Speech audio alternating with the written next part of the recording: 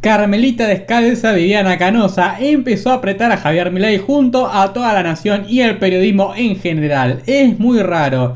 Esto de la venta de cargos sonaba desde hace una banda de tiempo, pero justo ahora sale todo a la luz. Qué justo que baja Milei en las encuestas de la nada cuando crecía o se mantenía más o menos y ahora salen estas cosas, ¿no? Sale a la luz un libro en donde eh, dicen que Milei habla con los perros muertos, que habla con no sé qué y le dijeron de todo. El tipo tenía audios y todo supuestamente el autor este y no apareció absolutamente nada. Y cuando le pidieron estos mismos...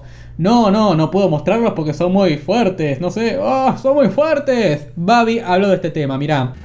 ahora hay una campaña para pegarle. Sí, está bien. Pero el mismo día que Massa dice voy a hacer yo, este eh, le empiezan a aparecer todos los kilómetros. Dos cosas.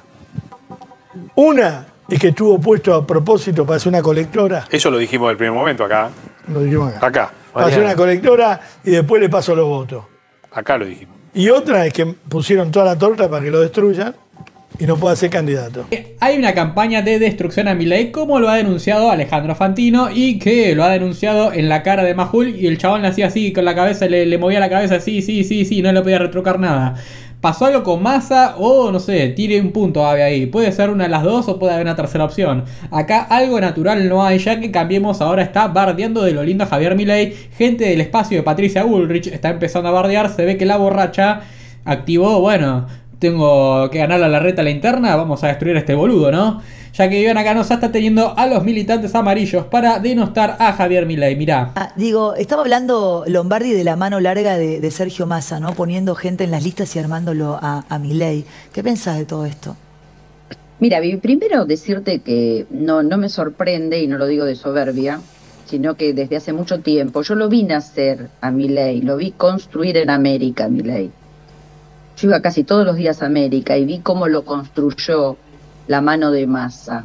Por lo tanto, nada me sorprende. Es decir, es una construcción que se hizo justamente para eso, para, digamos, romper cierta... ¿Estás diciendo que mi ley es una construcción de Sergio Massa? Sí, sí, sí no se subió más a ley. Ah, gracias por responder esa pregunta que le preguntaba a Ran. Claro, yo te decía, si Milei fue un personaje que empezó a crecer y un día Massa dijo, ojo que este tipo mide, o si lo armó Milei, a, a Milei directamente de cero. No. El grupo Vila Manzano Massa fue el que creó a Milei. A ver, a Milei lo creó el rating, que tanto les gusta a todos los medios. Está bien que les guste, pero con puterío barato no va, hermano, ¿eh?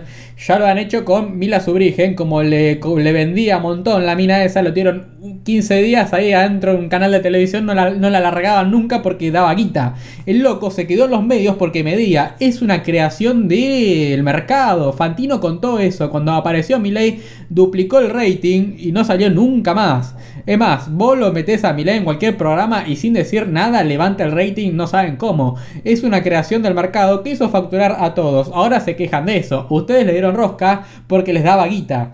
Esta señora no sé de dónde salió. Es una diputada, seguramente una diputada que aprobó la ley de alquileres y todo eso. Y ahora dice, ¡ay, que derogar la ley de alquileres! Justo hoy la ley de alquileres, hablando de ley de alquileres se iba a votar para hablar un poco de este tema y de la nada desaparecieron 18 diputados de Cambiemos, 20 diputados y no se aprobó el tratamiento de la ley, ¿no? Seguramente fue una, un escrache contra masa para quedar bien, una puesta en escena. También lo tiene al lado a Hernando Lombardi, esta mujer, ¿no? Un ñoqui que supo ser director de televisión pública, directivo de televisión pública, que es lo más ñoqui que hay ese canal. Para mí que le soltaron la mano Macri y Bullrich al peluca. Si tanto se rasgan las vestiduras por masa, Esper también era financiado por masa según ACEF en 2019 y le soltó la mano por este supuesto financiamiento acá, ¿no? Pichetto estaba con masa, un ser siniestro a la vista de los amarillos que hace desastres en el país. Es todo joda en la política, gente. Todos son veletas y estos se financian a partir de impuestos de la ciudad. Pero el colmo viene ahora, mirá. La que yo ayer llamé. Yo ayer me fui, y te decía, muy angustiada. Eh, hoy pasé un día raro, pude por suerte hacer catarsis en la radio. Para mí, ayer era difícil, viste, tirar la primera piedra y decir, bueno, lo voy a decir, me la juego y lo estoy contando. No podía aguantar más eh, no decirlo.